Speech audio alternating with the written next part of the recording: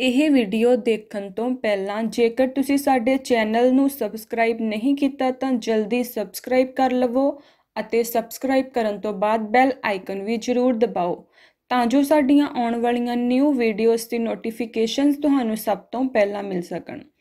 ਚਲੋ ਗੱਲ ਕਰਦੇ ਹਾਂ ਅੱਜ ਦੀ ਇਸ ਵੀਡੀਓ ਦੇ ਬਾਰੇ 'ਚ।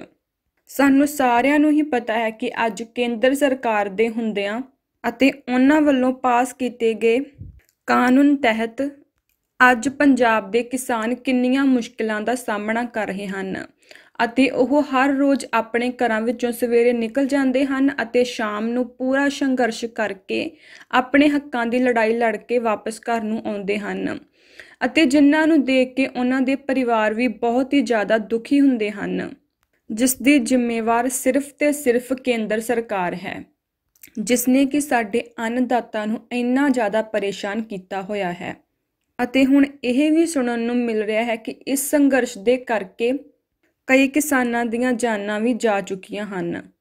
ਅਤੇ ਜਿੱਥੇ ਪਹਿਲਾਂ ਕਿਸਾਨ ਖੁਦਕੁਸ਼ੀਆਂ ਕਰਕੇ ਆਪਣੀਆਂ ਜਾਨਾਂ ਦਿੰਦੇ ਸਨ, ਉੱਥੇ ਹੁਣ ਇਹਨਾਂ ਸੰਘਰਸ਼ਾਂ ਦੇ ਕਰਕੇ ਵੀ ਉਹਨਾਂ ਨੂੰ ਆਪਣੀਆਂ ਜਾਨਾਂ ਕੁਰਬਾਨ ਕਰਨੀਆਂ ਪੈ ਰਹੀਆਂ ਹਨ। ਜਿਸ ਦੀ ਜ਼ਿੰਮੇਵਾਰ ਸਿਰਫ ਤੇ ਸਿਰਫ ਕੇਂਦਰ ਸਰਕਾਰ ਹੈ। ਜਿਸ ਨੂੰ ਕਿ ਕਿਸਾਨਾਂ ਦੀ ਅਜਿਹੀ ਹਾਲਤ ਉੱਤੇ ਤਰਸ ਹੀ ਨਹੀਂ ਆ ਰਿਹਾ। ਹੁਣ ਉੱਥੇ ਹੀ ਦੱਸਿਆ ਜਾ ਰਿਹਾ ਹੈ ਕਿ ਧਰਮਕੋਟ ਹਲਕੇ ਦੇ ਪਿੰਡ ਕਾਵਾਂ ਵਾਲਾ ਪੱਤਣ ਵਿਖੇ ਟੋਲ ਪਲਾਜ਼ਾ ਤੇ ਕਿਸਾਨ ਜਥੇਬੰਦੀਆਂ ਵੱਲੋਂ ਪਿਛਲੇ 1 ਮਹੀਨੇ ਤੋਂ ਲਗਾਤਾਰ ਸੰਘਰਸ਼ ਕੀਤਾ ਜਾ ਰਿਹਾ ਹੈ। ਇਸ ਸੰਘਰਸ਼ ਦੌਰਾਨ ਟੋਲ ਪਲਾਜ਼ਾ ਤੇ ਕਿਸਾਨ ਦੀ ਮੌਤ ਹੋ ਗਈ, ਜੋ ਕਿ ਬਹੁਤ ਹੀ ਜ਼ਿਆਦਾ ਦੁਖਦਾਇਕ ਖਬਰ ਹੈ। ਹੁਣ ਅਸੀਂ ਤੁਹਾਨੂੰ ਆਪਣੀ ਇਸ ਵੀਡੀਓ ਦੁਆਰਾ ਇਸ ਮਾਮਲੇ ਬਾਰੇ ਪੂਰੀ ਜਾਣਕਾਰੀ ਦੇਵਾਂਗੇ।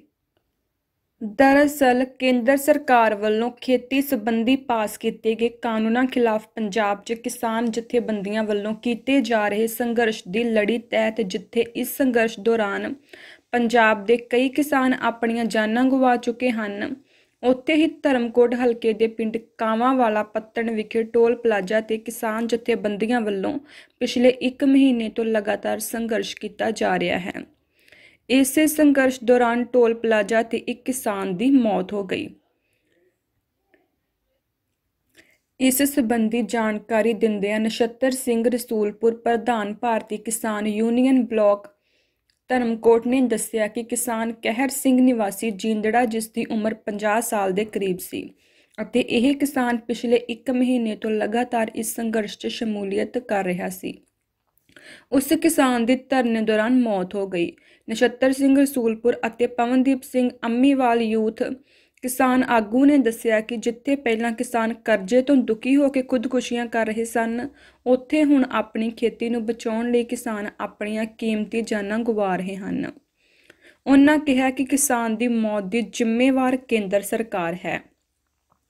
ਸਾਡੀਆਂ ਅਜਿਹੀਆਂ ਹੋਰ ਵੀਡੀਓਜ਼ ਨੂੰ ਦੇਖਣ ਦੇ ਲਈ ਸਾਡੇ ਚੈਨਲ ਨੂੰ ਸਬਸਕ੍ਰਾਈਬ ਕਰਨਾ ਨਾ ਭੁੱਲਣਾ। ਧੰਨਵਾਦ।